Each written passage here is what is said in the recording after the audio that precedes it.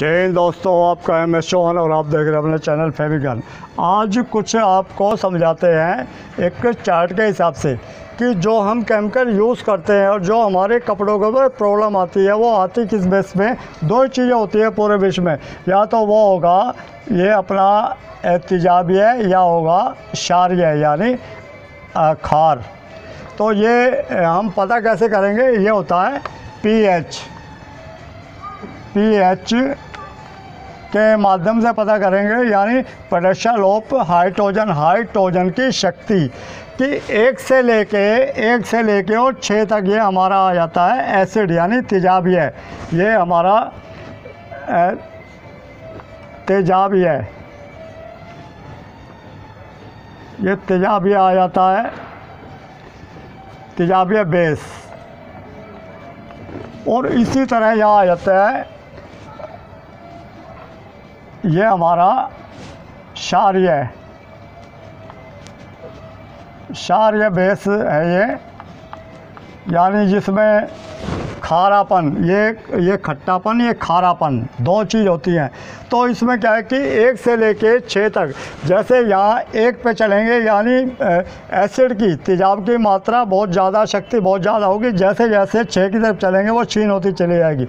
सात पे आके नॉर्मल, यानी न्यूट्रल हो जाता है, जो पीने का पानी होता है, सामान्य पानी। उसके बाद आठ से लेके चौदह तक ये हमारा खार की तरफ़। आठ से लेके जो यहाँ से चलेंगे, यहाँ से ज़्यादा है, इस तरह हमारे एक से लेके छः तक जो आते हैं वो कम हो जाता है, लेकिन यहाँ छः से लेके, यानी आठ से लेके चौदह तक यहाँ से शुरू होता है और यहाँ पे आस्ते आस्ते ये छीन होना शुरू हो जाता है। तो इसमें आता क्या है कि हमारे जो एसिड के अंदर, इसमें आता हमारा जैसे जो कोई भी एसिड होता है तो इसमें इसको मेंटेन करने के लिए आपस में दोनों को सही करने के लिए तो हम इसमें यूज़ करते हैं जो पानी रखा जाता है या यूज़ इसको करने के लिए हम इसमें यूज़ करते हैं हम एस्टिक एसिड। एस्टिक एसिड, ये हमारा पीएच को मेंटेन करता है, यानी सिरके का तेजाब, जिसको विनेगर भी बोलते हैं। तो इसमें हमारा एसिड कौन से आ जाते हैं? ओब्जोलिक एसिड ओब्जोलिक एसिड और इसमें आ जाता है हाइड्रोफ्लोरिक एसिड हाइड्रोफ्लोरिक एसिड इसमें formic acid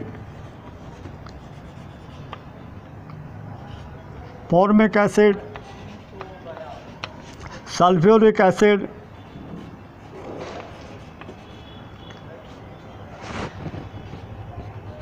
sulphuric acid जितने भी एसिड होते हैं इसमें एच सी एल यानी हाइड्रोक्लोरिक एसिड ये जितने भी होते हैं, ये सब आते हैं तो इसमें हमारा आ जाता है सोडा सोडा एस एस ये soda soda bicarbonate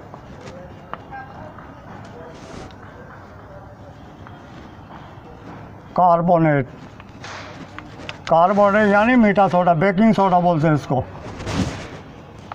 baking soda. Caustic soda वगैरह सब इसी में आते हैं तो ये है।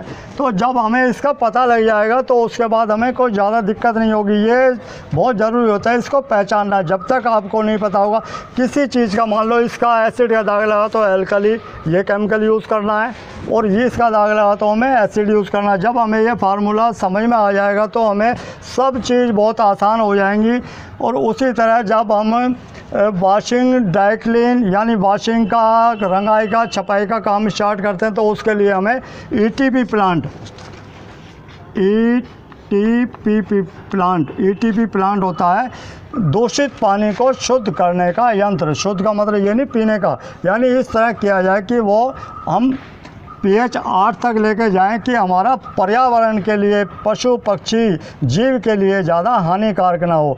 तो ये छोटी छोटी जो चीज़ें हैं, आपको अपने जीवन में उतारनी पड़ेंगी और आपको इस काम से जुड़ना है प्रॉपर। बाकी आपको वही डरने वाला काम करना तो आप कर ही रहे हो और उसके लिए कोई ज़्यादा आपको कुछ करना भी नहीं है।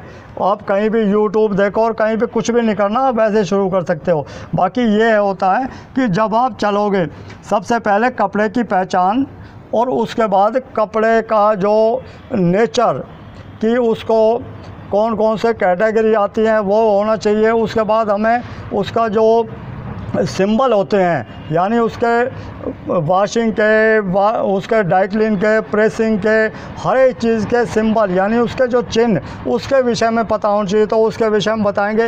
एक तरह का ये मैं आपको एक डेमो दिखा रहा हूँ कि अभी जो हमारी फ्रेशरों की जो फ्रेशर जो हमारे भाई जो हमारे बच्चे जो हमारे दोस्त अभी जुड़ेंगे तो उनको डेमो के डेमो प्रैक्टिकल हर एक तरह सिखाया जाएगा। बाकी ये चीज़ें आप वर्ल्ड क्लास कहीं भी, पूरे वर्ल्ड में आपको कहीं नहीं मिलेगी। और मैं कहते अहंकार वाली बात नहीं है, जो मैं बता रहा हूँ, आपको सौ परसेंट कि आप अपने ऊपर पहले विश्वास करें, तभी आप इस काम को सीख सकेंगे। तो दोस्तों, कपड़े का विषय यूँ ही निरंतर चलता रहेगा। मिलते हैं दोस्तों ब्रेक के बाद। जय हिंद, जय भारत।